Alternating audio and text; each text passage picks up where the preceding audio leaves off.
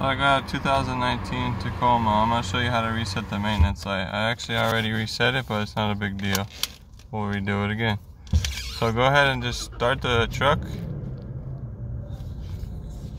And then you're gonna go, come down here and you're gonna use these buttons here.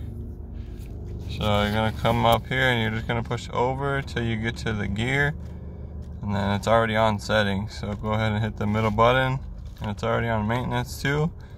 If it's not on maintenance, just keep scrolling until you get to maintenance reset. Hit the middle button and go ahead and confirm it. And that's it.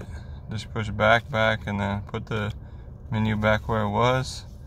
And that's it. The, if it has a message right here on the screen, it'll disappear.